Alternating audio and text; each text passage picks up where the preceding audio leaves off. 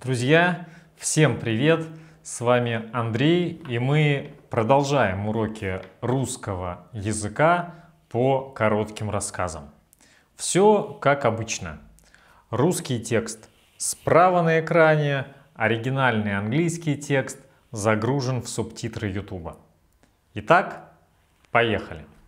Сегодня криминальная хроника. Известную российскую блогершу укусил скорпион, принадлежавший соседскому мальчику и живший у него в банке. Он ужалил ее в шею, когда она пыталась поближе рассмотреть насекомое для своего блога. Блогерша быстро отскочила и стала звать на помощь. Когда приехала скорая, ни Скорпиона, ни девушки нигде не было. Соседи начали ее поиски и чуть позже обнаружили блогершу, лежащую без сознания на тропинке между двумя домами. Любопытно, что она все еще держала пустую банку в руках, а Скорпион вполне умиротворенно сидел у нее в волосах.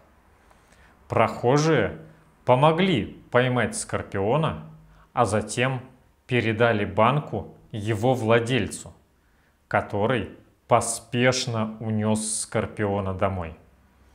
Затем блогершу доставили в городскую больницу – Представитель больницы сказал, что девушка находится в хорошем состоянии, но что без правильного и быстрого лечения укусы скорпиона могут вызывать сильную боль с опухолью вокруг места укуса. Он сказал, что пострадавшая поправится быстро. Родители соседского мальчика – были обеспокоены происшествием и предложили со своей стороны любую помощь. Они сказали, что у этого конкретного скорпиона хорошая репутация. И несмотря на несколько попыток убежать, он никогда раньше ни, никого не жалил они посоветовали блогерше в будущем быть осторожнее со скорпионами. Мальчик, который был хозяином животного, очень расстроился. Он сказал, что эта девушка сама напугала его питомца, и поэтому он ужалил ее. И что скорпиону потребуется много времени – чтобы оправиться от стресса.